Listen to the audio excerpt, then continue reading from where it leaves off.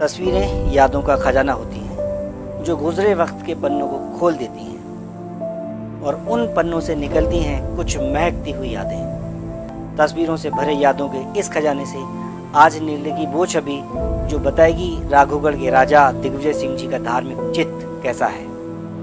एक चतुर राजनेता के पीछे एक भावुक और घनघोर धार्मिक सनातन परंपरा को मानने वाला इंसान छिपा हुआ है। इंसान भी वो जो कभी दावा नहीं करता कि वह हिंदू है। वह हमेशा सर्वधर्म संभाव की बात करता है। दिग्विजय सिंह जी एक ऐसे व्यक्तित्व के धनी हैं, जो स्वयं धार्मिक एवं सात्विक तो हैं, लेकिन अपने निजी स्वार्थ के लिए धार्मिक होने को महामंडित नहीं करते।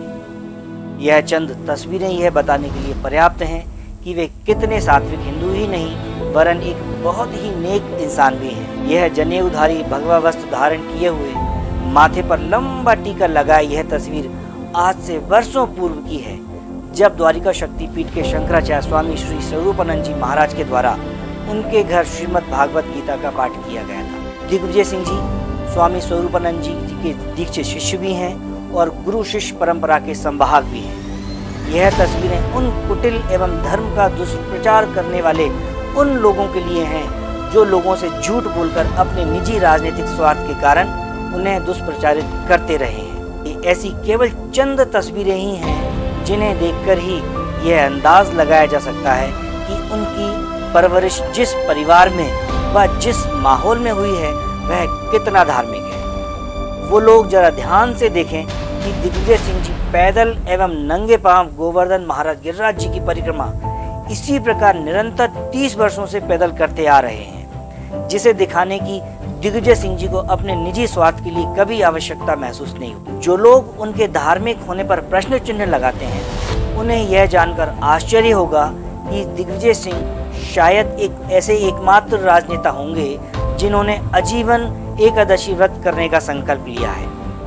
भारतवर्ष के लगभग सभी तीर्थ एवं धार्मिक स्थलों का वे दौरा कर चुके हैं, परंतु उनके द्वारा कभी इसकी नुमाइश एवं दिखावा नहीं किया गया। एक सात्विक हिंदू, सनातन धर्मी हूँ और ऐसे परिवार से आता हूँ जिसका की धार्मिक आस्था सब लोग जान। मैं खुद हिंदू हूँ।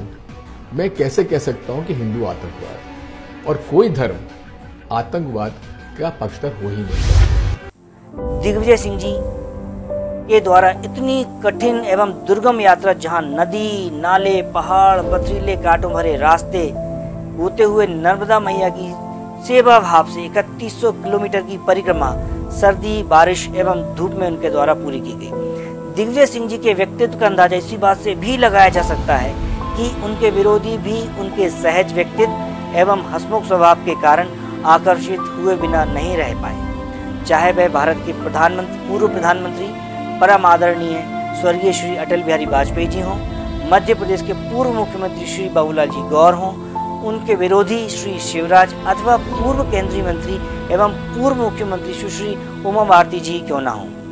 उनके आकर्षण से कोई प्रभावित हुए बगैर नहीं रह सका। स्वयं श्री सुश्री उमा भारती द्वारा ये समाचार पत्र को दिए गए साक्षात्कार में उनके द्वारा यह बताया गया कि दिग्विजय सिंह जी को वे अपना बड़ा भाई मानती हैं। एवं उनका परिवार बहुत ही धार्मिक है। उनका दिग्विजय सिंह जी से पुराना संबंध है। वह उनके राघोगढ़ के किले में प्रवचन भी कर चुकी है। उनके घर में कई प्राचीन मंदिर हैं, जिनकी विधिवत पूजा अर्चना प्रतिदिन नियम पूर्वक होती है। इस तस्वीर में स्वयं दिग्विजय सिंह जी नित्य उपासना करते हुए दिखाई दे रहे हैं, और यह तस्वीरें आज की नहीं है। उनके व्यक्तित्व का अंदाज़ा इस बात से भी लगाया जा सकता है कि लगभग पंद्रह वर्षों से वह किसी भी संवैधानिक पद पर नहीं है, परंतु फिर भी उनकी सहज उपलब्धता व्यक्तित्व के कारण आज भी न सिर्फ़ राजनेता, साधु, संत, बल्कि एक आम कार्यकर्ता अथवा एक आम नागरिक भी उनकी एक झलक पाने के लिए लालायित रहते हैं। दिग्विजय सिंह जी एक ऐसे व्यक्तित्व हैं जिसने सभी धर्मों का समान रूप से आदर एवं सम्मान किया है। परंतु उन्होंने पब्लिक के समक्ष इसका दिखावा कभी नहीं किया, क्योंकि वे मानते हैं कि धर्म निज आस्था का विषय है। उनका भोपाल एवं प्रदेश के लिए एक विजन है, जिसमें भोपाल को अंतर्राष्ट्रीय श्रेणी का शहर बनाना चाहते हैं। विशेषकर जहाँ सारी शैक्षणिक संस्थाएँ हों, बेहतर चिकित्सा सुविधाएँ उपलब्ध हो सकें, सभी को स्वच्छ जल मिल सके, महिलाओं को सशक्तिकरण हो सके आदि।